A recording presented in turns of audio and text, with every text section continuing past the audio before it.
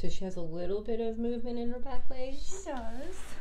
If we like, she can kind of bend them both, and she'll kick. She'll get them under her. She feel like any pain when She doesn't seem to be in pain. She was on pain meds when she first got here, um, but we've taken her off of all of them for now because she doesn't seem to be in pain, and they kind of make her more drowsy. So then she's less likely to kind of move about. So we gotta get those legs strong, Yeah. don't we, Barbara? And how did Barbara get her name? uh, Dr. Gallus had just taken a trip to Santa Barbara, California. so There, he named her that's how Barbara you after that. became Barbara. Is that how you became Barbara? Hi, honey. You can see a little bit of the Maine Coon in her. Yeah. She's such a, she's a really beautiful little kitty. Mhm. Come on, show me those back legs. Show me those back legs. Come on. Come on. You can do it. Good girl. Come on. Come on. Oh, good job. Good job. And that's something she could not do when she first came to us. She could not get her back feet under her like that. We were even having to turn her every few hours um, just so she wouldn't get like sores or any issues from that because she couldn't even turn herself over on her own. Look at you. It's amazing how resilient kittens are. Cats in general are. So is she gonna stay with us or are we gonna put her out to foster? What's our plan for her? I don't really have a plan right now. I think we're kind of taking it day by day and just seeing how far she's coming. Um, but most of us are pretty attached to her, so we've kind of been doing physical therapy with her throughout the day when we have a few moments to sit down with her, um, which I think is making big improvements. Kind of getting muscle memory in there for her, even though she hasn't used them herself yet. Yeah, she did a little Um, push off there. Yeah, she's getting better. She's getting stronger every day. Look at you. You're going to be like a superhero kitty. Pretty soon there's going to be a super Barbara. A super Barbara. Show everybody your beautiful little face. Yeah. Just like every other kitten, you just want to play. Just want to play. So pretty. There it is. There it is. Come on, use those back legs. You can do it. You can do it. I heard you're a lazy player, so you got to work on it.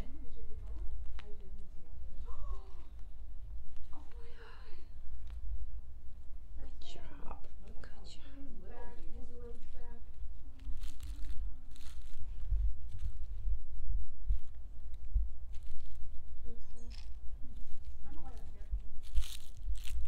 There was also no movement in her tail when she first came to us, which she's slowly starting to be able to move it a little bit more. Does she flick it every once in a while?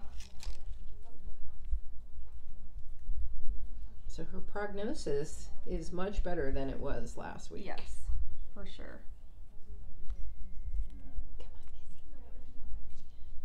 Come on, Missy. See if we can get her to walk your way.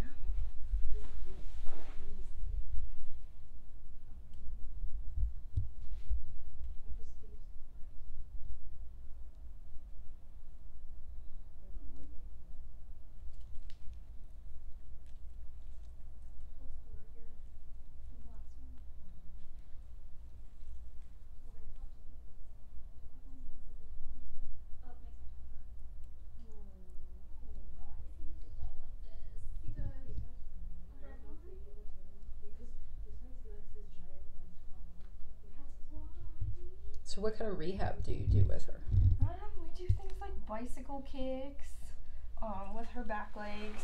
A lot of what we've been doing is just stretching out her muscles, even her toes.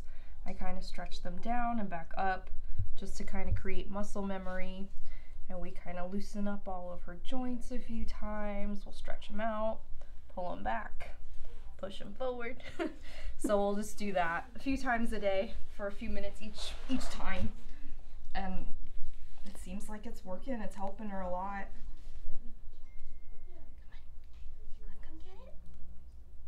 Oh yeah, she just moved the back leg. Good job.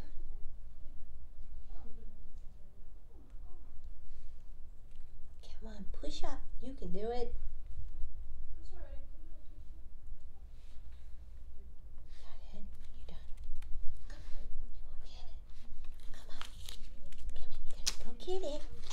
Got toys.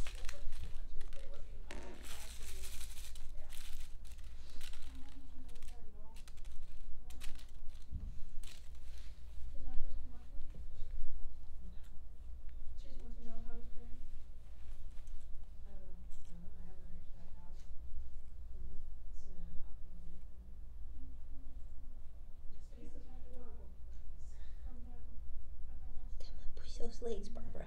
Let's do it.